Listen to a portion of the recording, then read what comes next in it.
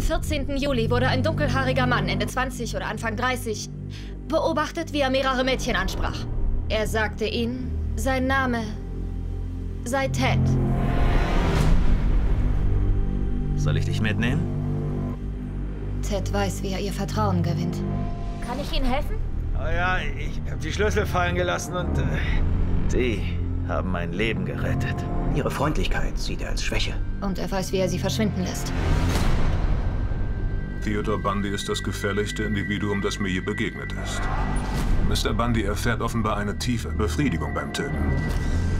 Zuerst ist es ein Opfer, dann zwei, dann drei. Es bleibt immer dieses Verlangen übrig. Der Wunsch nach mehr. Ein Kreislauf, der nie endet. Wie eine Serie.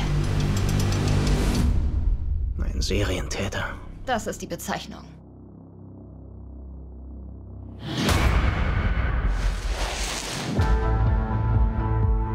Ihr Sohn ist gerade einer der meistgesuchten Männer im Land. Mein Vater sagte immer, Teddy wurde in der Hölle gezeugt. Das, was für so eine Person sicher das Reizvollste ist, ist äh, die Jagd. Vor etwa einer Woche hat ein Unbekannter eine Frau angegriffen. Auf dem Campus der Florida State University. Was zur Hölle geht hier vor? Ich löse die Taskforce auf. Aber er ist noch da draußen. Sie müssen loslassen. Wieso erzählen Sie ihm nicht, dass Sie nicht mehr über die Ressourcen verfügen, um das Monster zu verfolgen, das Ihre Töchter verstümmelt hat? Ich kriege ihn, und wenn es das Letzte ist, was ich tue. Für all das, was er den Mädchen angetan hat. Er ist eine tickende Zeitbombe.